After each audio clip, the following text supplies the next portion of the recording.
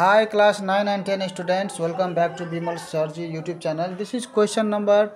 10b exercise 7.5 equations of straight lines class 9 optional mathematics here the question is find the equation of a straight line through the point of intersection of a straight lines x plus y is equal to 3 and x minus y is equal to 1 and having a slope 1 so first of all we have to find the point of intersection okay of the line so here uh, here given equation of lines or given lines are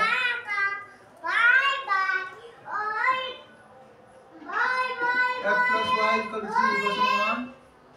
and this here x minus y equal to equation 1 okay? This is equation 2 so solving this equation we will get value okay, we have to find here x and y value. So if we add then y will be cancelled and if you subtract then x will be cancelled so I will what here? Adding. Adding equation 1 and 2 okay adding means x plus y is equal to 3 and x minus y is equal to 1 adding means what? No need to change this sign directly. And this is plus this is minus so cancel. This is plus x plus x so 2x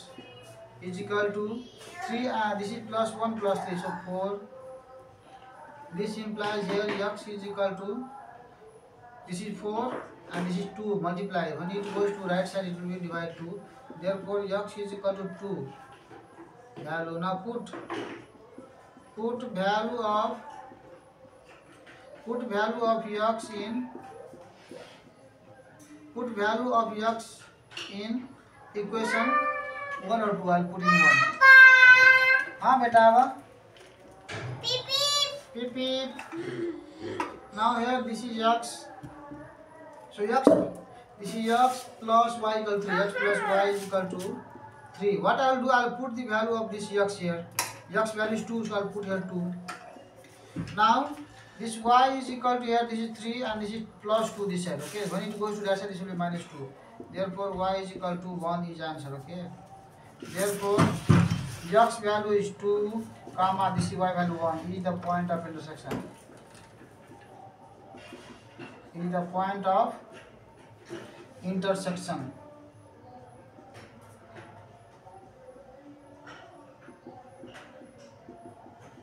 okay this is the point of intersection of line 1 and 2 okay this is given line means this is the okay you can say i can also write here uh, given uh, here given uh, equation of straight line or given lines that is same now the slope is given here having a slope 1 here slope after this okay i'll write here slope m is equal to 1 slope is 1 now equation equation of equation of line equation of line equation of line okay right here the line means okay what is the line means that is the okay that line okay straight line the equation the equation of the line is y minus y1 is equal to okay first there were two points okay we had solved many problem that okay equation of the line will be what y minus y1 is equal to y2 minus y1 into x2 minus x1 into x minus x1 okay this was the equation